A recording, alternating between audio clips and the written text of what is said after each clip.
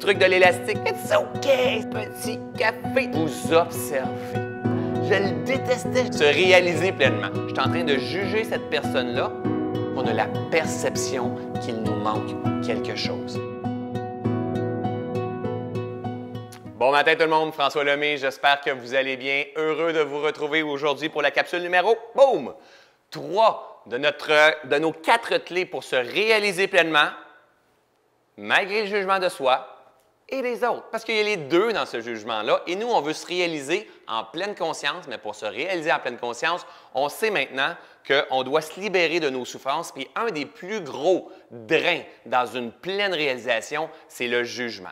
Si vous portez la peur du jugement, comprenez bien une chose, c'est que vous êtes comme la majorité des êtres humains qui sont sur notre planète. Hein, on a peur du jugement et on pense qu'on est pris comme ça et que notre machine est peut-être brisée. Puis moi, j'ai peur du jugement, puis je suis comme ma mère, je suis comme mon père, je suis comme ma famille. Mais c'est peut-être juste parce que j'ignore comment je fonctionne et on ne s'est pas fait enseigner ça dans, nos écoles.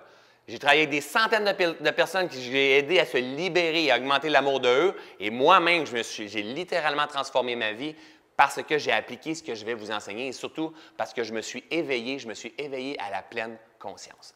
Dans la dernière capsule, je vais partager le petit truc de l'élastique. Hein. Je ne sais pas si ça vous a aidé, juste de mettre un élastique, peu importe l'élastique, peu, importe la couleur. Ça peut être un, un, élastique bien simple, de mettre ça autour de votre poignet. Puis quand vous vous rendez compte que vous portez un jugement sur euh, celui qui est en train de parler, sur vos collègues de travail, sur vos enfants peut-être, ou encore sur votre conjoint ou conjointe, juste faire comme Juste de se rendre compte à quel point qu'on juge constamment. Hein, peut-être les, les, gens à la télévision, les gens dans les nouvelles, on est constamment en train de juger. Et les, ceux et celles qui jugent beaucoup, eux, ils vont avoir tendance à dire Non, c'est pas un jugement, c'est un fait. Ah oui, t'as peu. Mais par contre, c'est aussi vrai de dire ben, Dans mon café présentement, mon café, il est chaud. Est-ce que c'est un jugement? Oui, c'est un jugement, mais est-ce que je fais mal à quelqu'un? Non. Mais dans le cas que je juge quelqu'un parce qu'il prend trop de place, parce que je ne l'aime pas, parce que. Mais dans ce moment-là, je suis en train de juger cette personne-là, qui, ne devrait pas être en fait, mais je suis en train aussi de porter cette énergie-là de manque, d'envie, de jalousie, de, colère, de, comparaison, et je ne suis pas aligné. Je ne suis pas en train de me réaliser pleinement. Et vous le savez très bien, gang. Quand on fonctionne dans un cheminement de pleine conscience, la réponse, vous savez, elle est où? Elle est à l'intérieur.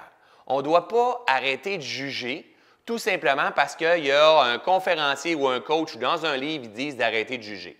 On ne doit pas arrêter de juger parce qu'il y a un grand Dieu un jour qui a dit qu'il ne faut pas juger. On doit arrêter de juger parce qu'on est intelligent et on est conscient.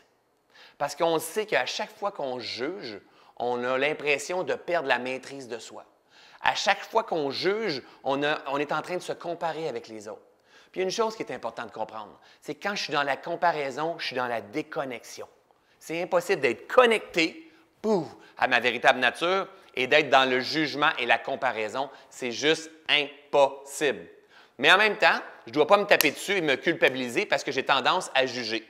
Parce que là, je n'ai rien compris. C'est un process, gang. It's a process. It's a process, ça veut dire it's OK, j'accueille ce que je fais comme expérience, ce que je perçois de moi. It's a process, c'est un processus de nettoyage, de purification, jusqu'à temps que, boum, il y ait moins de résistance au travers de tout ça et que je puisse me réaliser avec des étoiles dans les yeux. Ce qui est important de comprendre, c'est que moi, ce que je modélise dans la vie, c'est la nature les lois de la cause à effet, les lois du changement, les lois de l'intention, le cycle, toutes ces lois-là, j'applique ça au développement humain, à qu'est-ce qui se passe dans l'esprit. C'est des grandes vérités. On fait partie intégrante de la nature. Ce qui est important de comprendre, c'est que, que vous devez savoir, c'est que les plus performants de notre société, ce sont les gens les plus insécures. Et quand on est dans notre insécurité, on a tendance à critiquer puis à juger très rapidement. Donc, si vous avez peur du jugement, c'est parce que vous êtes quelqu'un qui se juge. Et si vous vous, jugez, mais bien sûr, vous vous critiquez, vous vous jugez, vous vous comparez avec les autres, avec vos amis Facebook, avec François Lemay, peut-être avec votre conjoint, votre, votre conjointe, avec les autres familles qui, ont, qui, ont, des enfants qui sont toutes bien habillés, qui vont jouer dehors, qui vont, peu importe, vos collègues, vos amis qui ont un titre, qui gagnent plus d'argent que vous, tout ça. Vous êtes en train de vous comparer. Comprenez bien une chose, c'est super important. Des fois, je vais être dur. Boum! Si vous êtes en train de vous comparer, vous êtes à côté de la traque. Vous êtes à côté de la traque d'honorer votre véritable potentiel. C'est impossible d'être dans comparaison et d'être connecté. Rappelez-vous ça. Vous voulez avoir les étoiles dans les yeux, ce sentiment de pleine réalisation-là pour mériter ce qu'il y a de meilleur dans la vie, l'abondance. Et pour ça, mais vous n'aurez pas le choix. Vous allez avoir besoin de vous libérer du jugement. Vous savez quoi, ça gagne? Ça ne s'achète pas. Ça, va, ça, se libère quand on décide de travailler sur soi. Donc, regardez bien ça. Si j'ai tendance à me critiquer, je vais me juger, hein, par cause et effet. Si je me critique, je vais me juger. Si je me juge, je vais me culpabiliser automatiquement. Donc, regardez la cause à effet. Je vais te partager un graphique.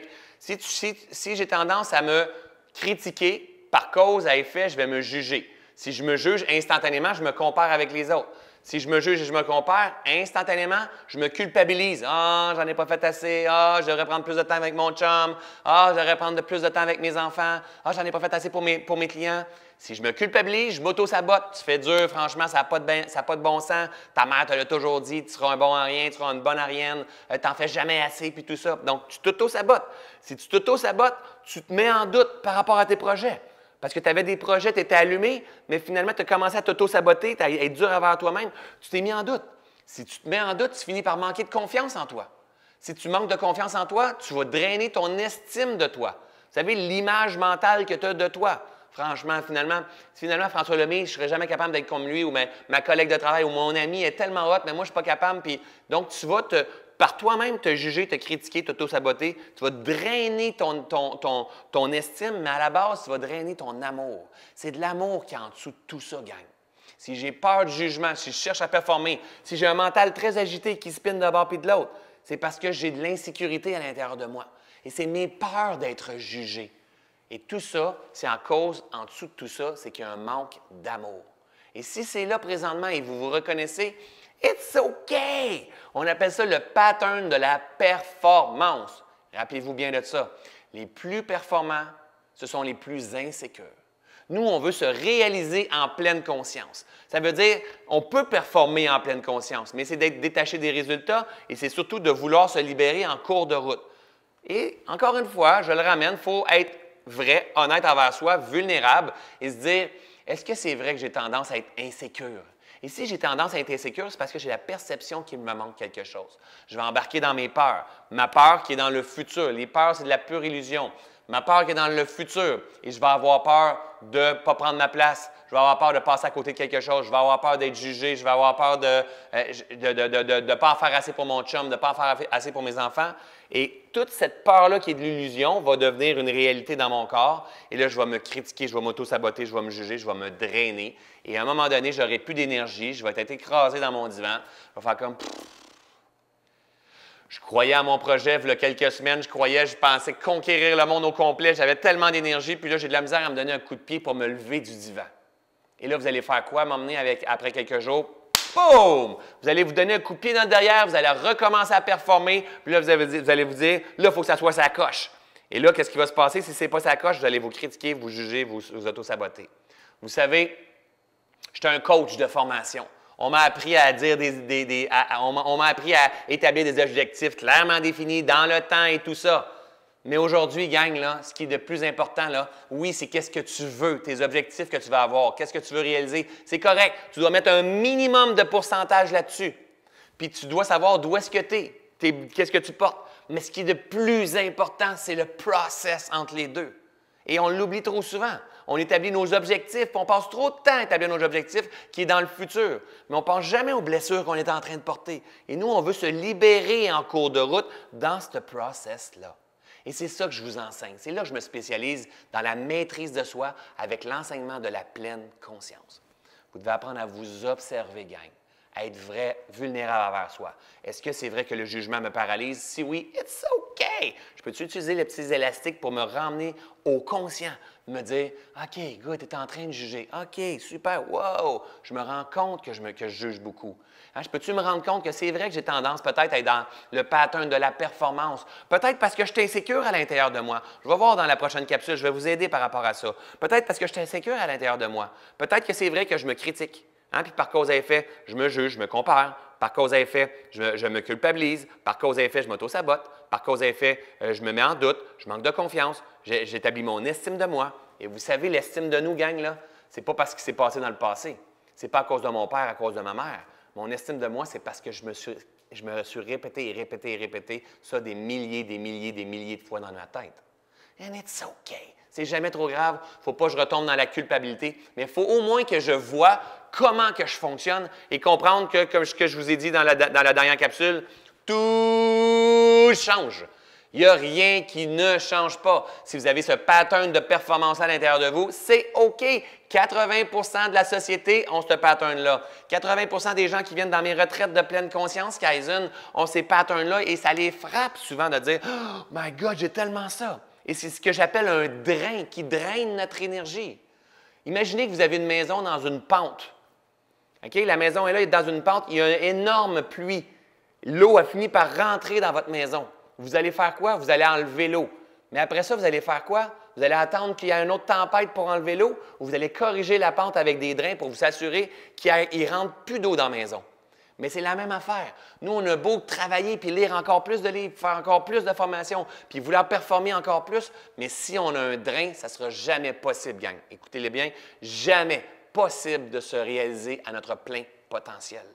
Le jugement, c'est un drain et c'est nous qui sommes responsables de le libérer. Et tu es un être humain avec un potentiel exceptionnel, un pas à la fois vers la meilleure version de toi-même. It's a process, gang!